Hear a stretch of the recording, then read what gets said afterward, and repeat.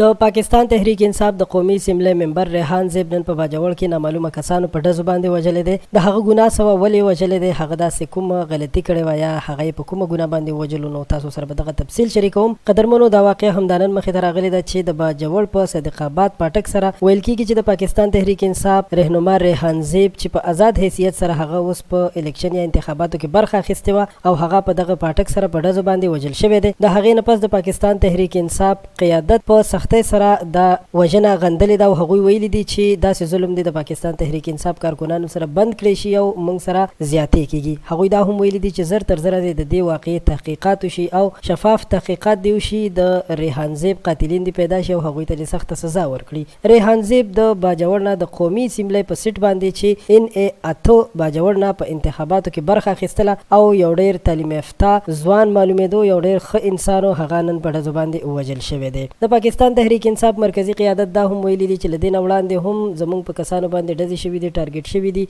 او اوس زموږ د قومي اسمبلۍ ممبر یو ډېر تعلیم یافته ځوان هم په ډزو باندې ووژل شو. قدرمنو هغوی دا هم ویلي دي چې حکومت له پکار دي چې داسې کسانو ته سیکیورټي ورکړي کوم چې په الیکشن کې برخه اخلي. بل اړخ ته په باجوړ کې د ریحان زیب مړی چې دی هغه په روډ باندې د تحریک انصاف حمایتیانو ایښی دی او ویلي دي چې تر څو پورې موږ ته انصاف نه وي ملاو شوی موږ به له دې ځای نه دا مړی نه اخوا کوو. نو قدرمنو دوستانو یقینا چې ظلم شوی زیاتی شوی دی هر چا چې دا کار کړی وي ډېر زیات ظلم یې کړی دی. یو انسان ته په کار دي که بل انسان ته شکست ورکوي نو هغه ته دې په نظریاتي طور باندې شکست ورکړي. نظریاتي طور شکست داسې چې هغه ته دې په ووټونو کې دې شکست ورکړي نه دا چې په هغه باندې ډزې کوي، د هغه د ژوند خاتمه کوي او هغه قتل کوي، یقینا چې دا انتهايي ډېر لوی ظلم دی.